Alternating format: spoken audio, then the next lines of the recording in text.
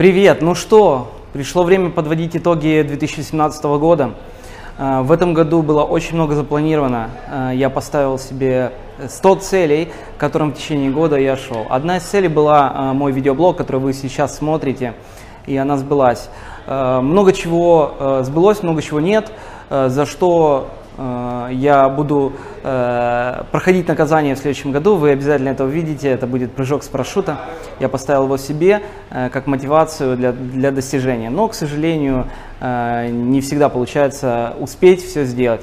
Все равно в следующем году я также поставлю огромное количество целей и буду к ним идти.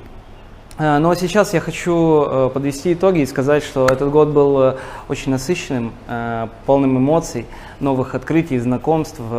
Я очень рад, что я запустил этот блог, так как в первую очередь для меня это мой видеодневник, в котором я через несколько лет смогу вспомнить, как же это было.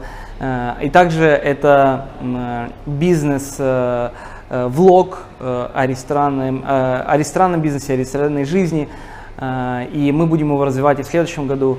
Э, я обещаю, что в 2019 году будет очень много новых э, открытий.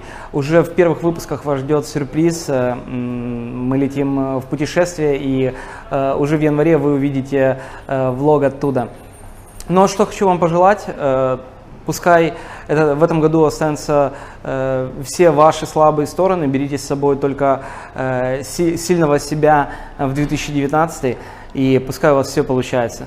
Э, знайте, что все в наших руках, и только мы можем творить свое будущее, свое счастье. Смотрите мой влог, пишите поздравления в комментариях. Э, вас я еще раз поздравляю. До встречи в следующем году. Пока!